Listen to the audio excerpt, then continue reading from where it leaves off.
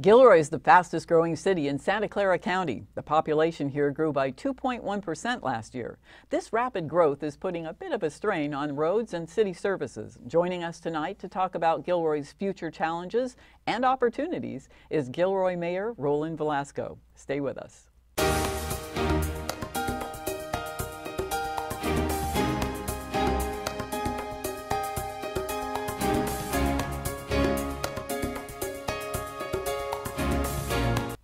Welcome, Mayor. Thank you so much for joining us tonight. Well, thank you for the invitation. Oh, they're quite welcome. So let's let's do something right away that I think would be of interest to most people. Okay. What is your vision for Gilroy? What would you like to see here? Well, I think, uh, you know, first and foremost, um, just a great overall community, uh, safe community, uh, strong and safe neighborhoods, uh, strong schools, I think all these things play a, a role in why people want to come to Gilroy.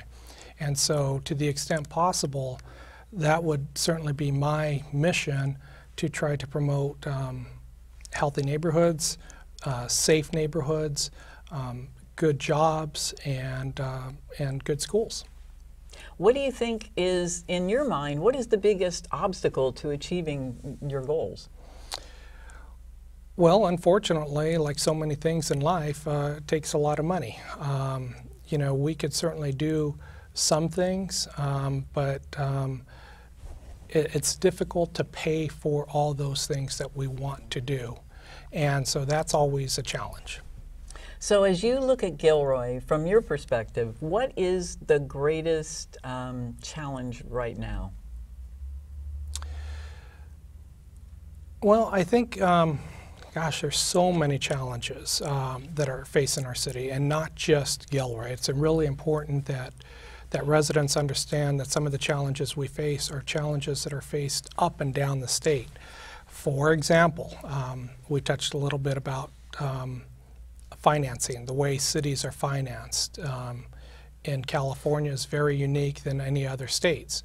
Um, we have um, challenges with the schools. The city of Gilroy has no direct responsibility over the school system.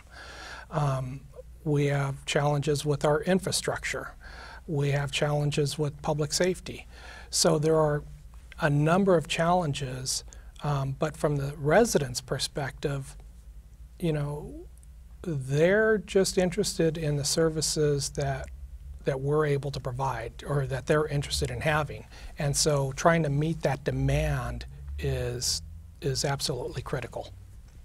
Well, one of the one of the the critical things in in Gilroy is housing, and you recently had said that it's important going forward to kind of evaluate the rate of growth. How would you like to see the growth in Gilroy managed? Well, actually, I would like to see it slowed down. Um, and so right now we are going through our next general plan update that will take us to 2040. Um, it is my intention to see that that housing rate slow down. Unfortunately, we are going to have a lot of pressure put on us, not just with the county, but also with the state, to build more housing to supply the much needed demand for housing. So, whereas I want to slow it down so that our services could keep up with the demand from our current residents, there's going to be a tremendous amount of pressure put on elected officials um, to build more housing. And you said the pressure comes from the state of California? Yes, uh, the state, um, through various uh, agencies, puts pressure on local jurisdictions to, um, to create more housing. As a matter of fact, the legislature recently passed um, some sweeping bills that actually takes land use authority away from local governments so that it streamlines the process and, um, and prevents cities from saying no to housing projects. So, so if uh, if that happens, what would be the downside of more housing? Well, the downside of more housing is that housing does not pay for itself in terms of services. And I could give you a perfect example. if the average price of a home in Gilroy is $700,000, under Prop 13, we're paying um, approximately 1%. It's actually a little bit more because of some school bonds and things things like that. But let's just use a 1% as the as the base. 1% of 700,000 is $7,000. Now most people when they pay their property taxes, they're writing a check out for $7,000. They think all that money comes to the city of Gilroy. That is not the case. What happens is each jurisdiction takes their share of money. Um, some of it goes to the water district, some of it goes to the county, some goes to the state. A big portion of it goes to uh, the school districts. The city of Gilroy gets about 9% of that $7,000. So for a single family home that costs about $700,000, we're only getting about $630 of that. That $630 does not pay for the streets, the police, the fire, the parks, uh, you know, all the services that I want to be able to provide to our residents. Hmm. And so, where do you get the money for those other services? It's a great question. That's why it is so important to have a strong economic development policy um, here in Gilroy. That's why you see jurisdictions competing against other jurisdictions. Gilroy competes against Hollister and uh, Morgan Hill and Salinas and just our surrounding communities for jobs, for retail.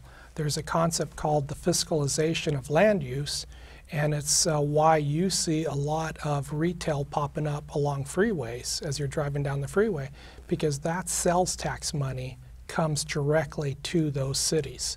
So you see, you see the result of that. And so sales tax is one of the ways that you can get money for services. Sales tax is one of the ways that we get money for services. It's uh, sales tax, property tax, and um, and TOT are the three big areas that we. TOT is a transit occupancy tax. It's the tax that uh, outsiders pay when they check into a motel. Um, so those are the revenue sources for cities. So, so since you mentioned hotels, um, uh, can we talk a little bit about the uh, Great Wolf Lodge? Is that that project would bring a lot of outsiders here, and that tax would come into play? Um, is that a thing anymore, or is it disappearing? Unfortunately, Great Wolf uh, made the business decision that they wanted to look at other jurisdictions that would allow them to um, construct their facility, uh, their future facility, as quickly as possible. And so, to that end, that's exactly what they're doing. Um, they have investors that are eager to, to make some money, and they did not want to take a long process that they envisioned going through here in Gilroy. So they're looking at other places. Um, we have sent a very clear message to Great Wolf that um, if they're ever interested in Gilroy, to come on back. I'm still willing to meet with them. They have said that they still want to consider Gilroy. They just don't think it could be, as, you know, now. So what would uh, what is the obstacle for them? Is it like the land isn't ready, or the or there are obstacles at the planning commission? Well, um, it, it, it's the land is not ready. There is some um, where it was proposed was at uh, some underutilized land at Gilroy Gardens. There are some structures there that would have to get moved, but beyond that, they would have to go through an environmental review process, and that alone could take a year, year and a half, and then you build, a tack on construction time. So, you know, we're talking a number of years out. There are other jurisdictions that already have the environmental review either completed or already underway, and so that's what they were looking at.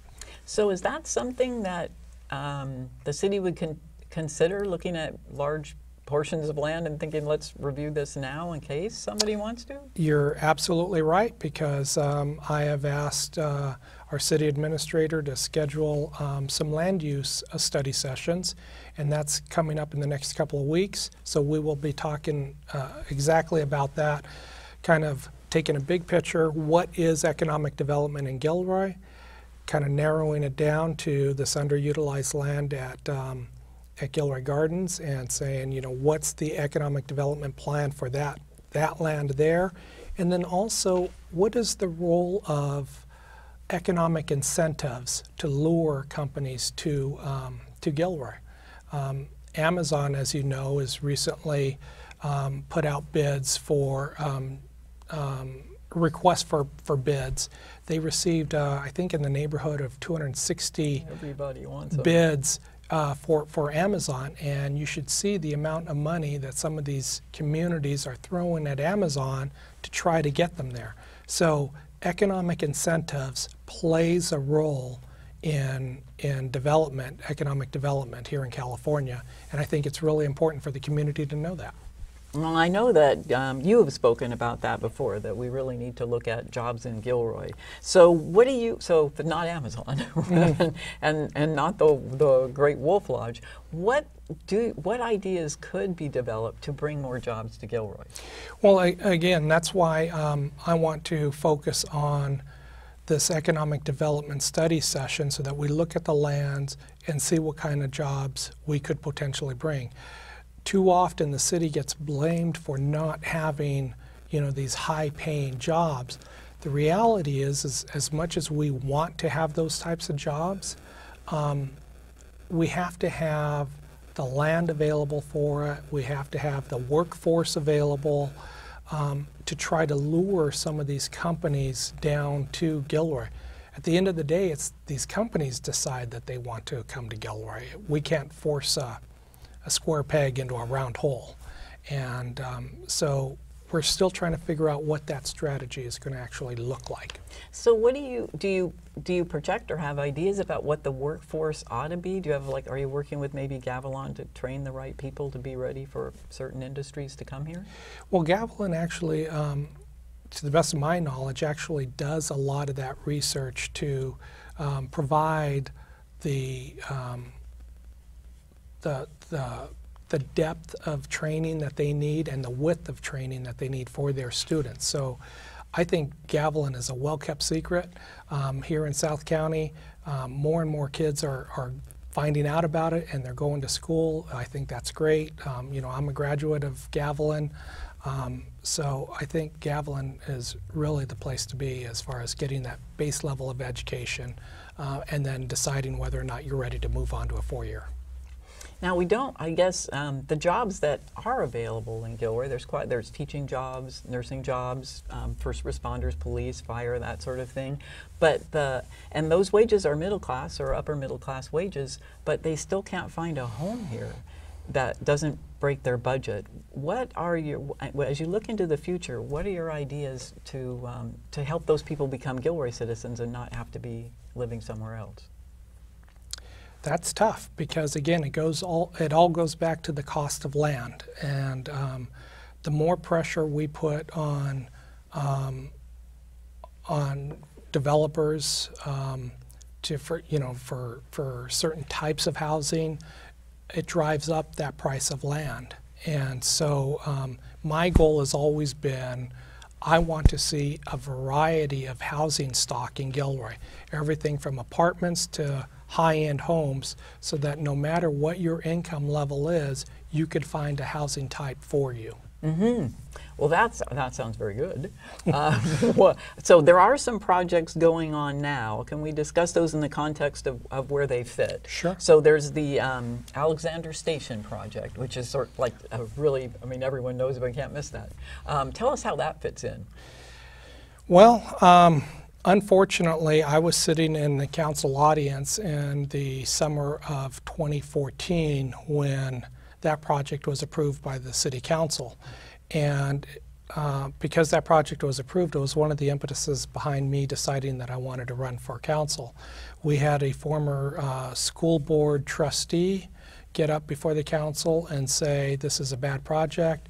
We had a couple other people saying this is not a good project. Um, and the council ended up approving it. I think it was approved on a four to three or five to two vote.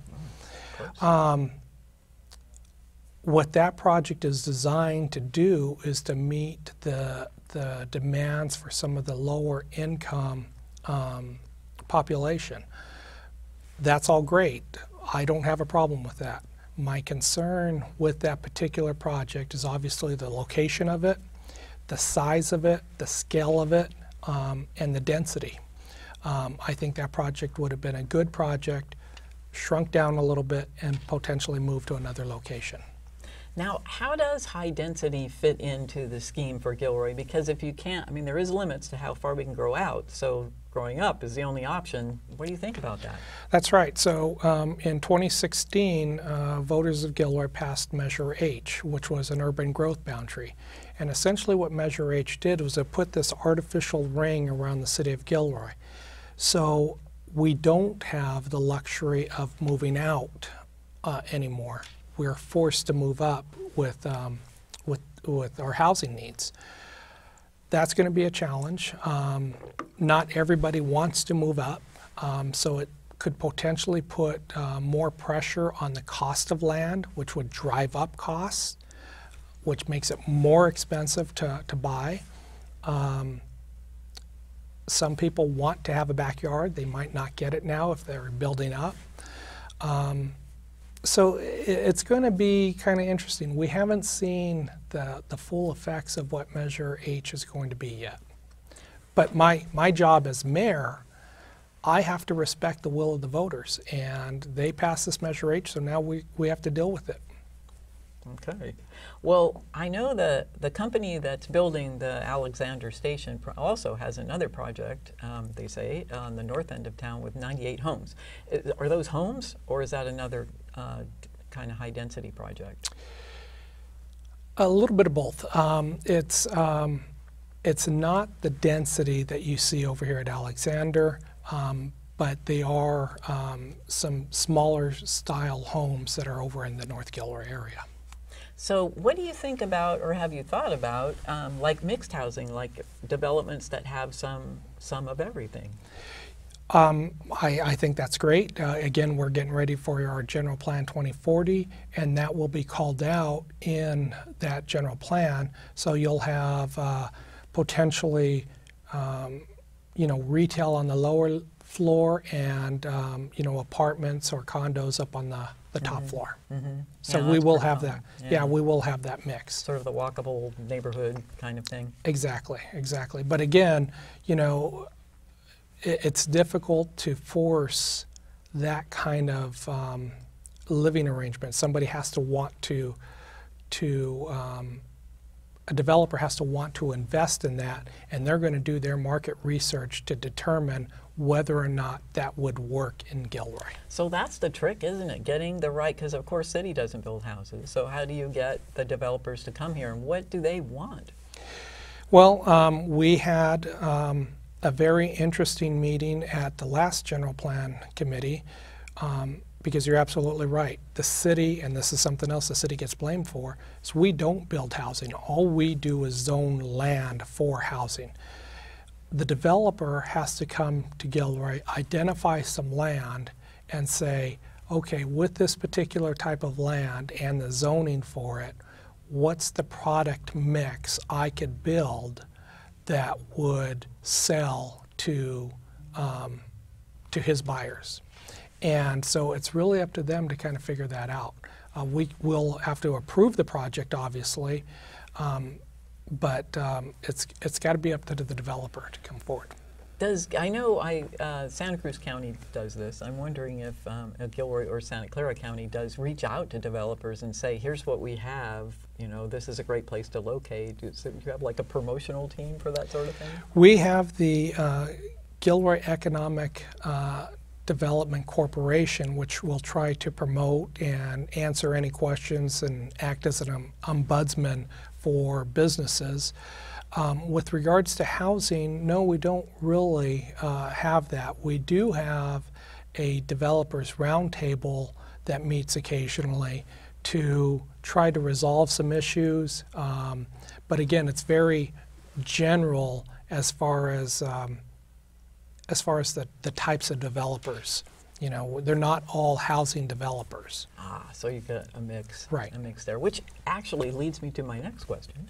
I know that you want to um, retain uh, millennials and younger residents and try to get them to stay in Gilroy, but uh, the kind of the complaint for them is there's nothing to do here, and um, so maybe some kinds of those sorts of developers that develop like restaurant and, and more sort of um, uh, uh, fun and hospitality things might be um, a help in that.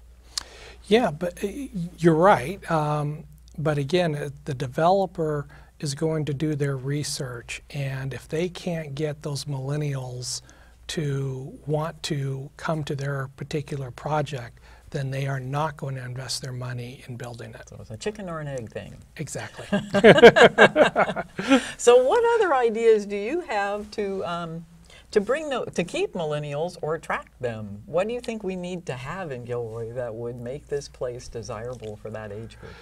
Well, little by little, um, we are um, making improvements to our downtown. Um, last night, I was just at a ribbon cutting at uh, Bartenders Union, and um, Bartenders Union is the perfect example of somebody who walks into a particular bar, saw a need, and said, "You know what? I think I can make this work."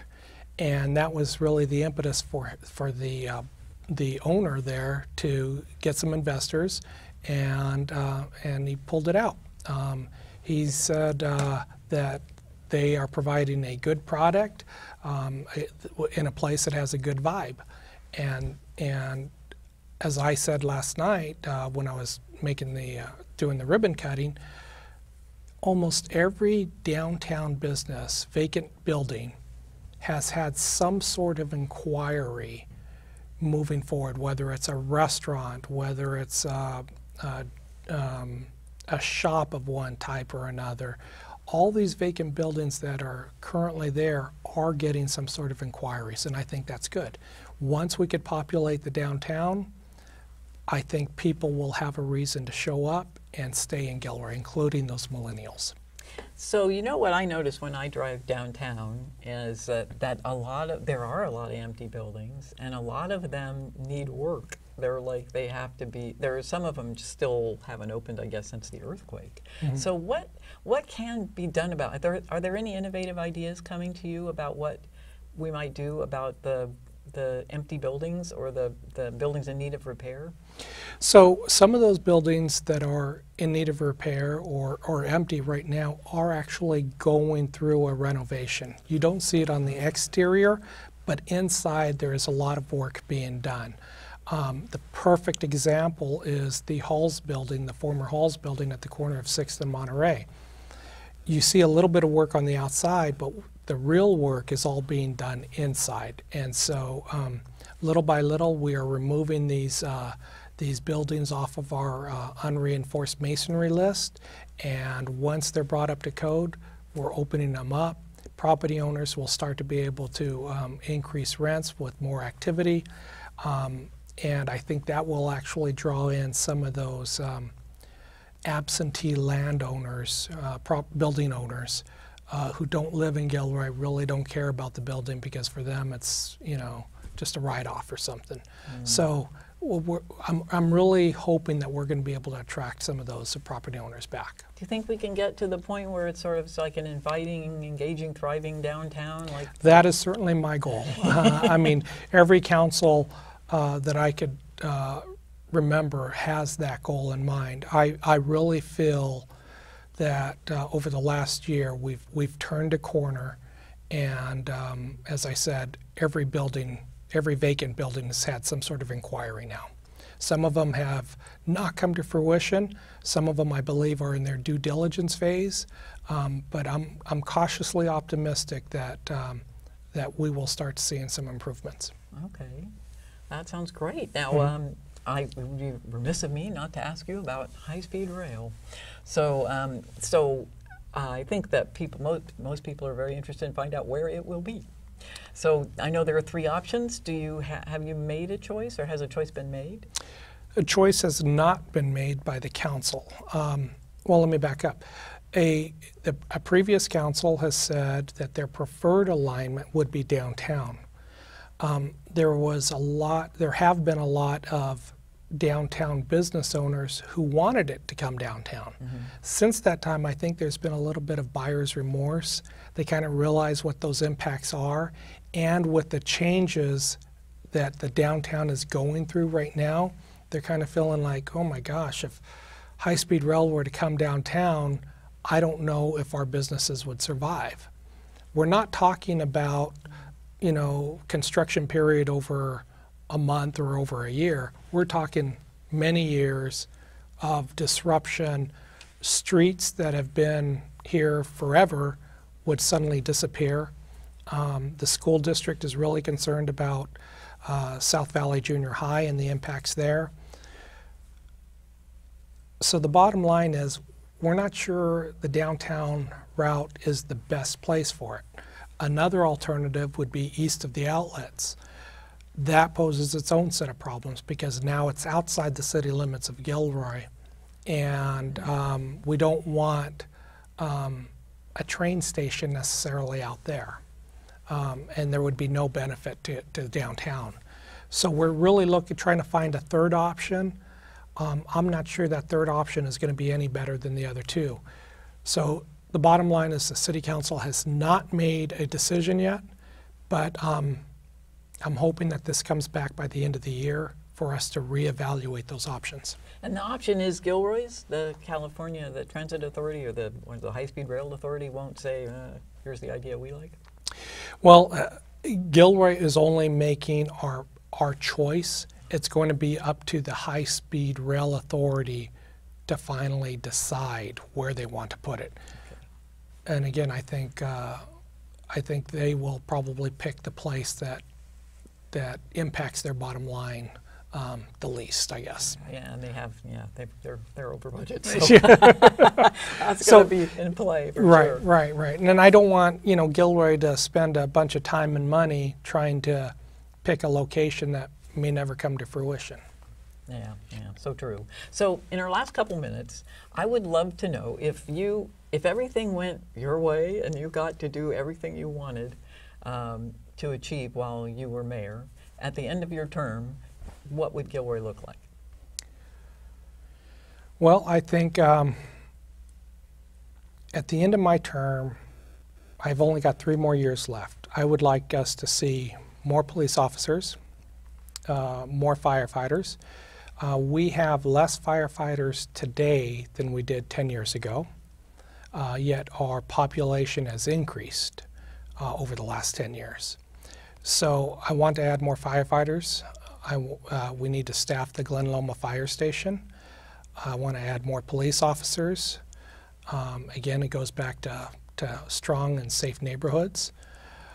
I would like to see us invest in our infrastructure, and we've actually invested about $5 million over the last year and making street repairs, um, making investments in City Hall, kind of bringing us into the 21st century. Um, we are making progress on First Street. Uh, First Street should uh, if everything goes well, we will start tearing up First Street in 2018, and uh, hopefully Caltrans will come along in spring of 2019 to, to totally redo First Street, which is a state highway. So that's all been, you know, um, my my work to try to get our legislators legislators aware of the um, of the uh, the impacts of that road. Well, thank you, Mayor Roland Velasco. It's been a pleasure having you on the show tonight. And thank you for joining us on Inside Gilroy. Thank you, Becca. You're so welcome. this was great.